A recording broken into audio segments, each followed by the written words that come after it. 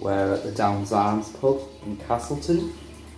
Urinals, sink, toilet, and door.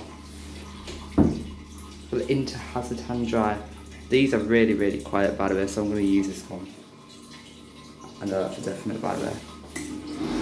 Oh, spoiling. I need a bit of my hands. Yuck.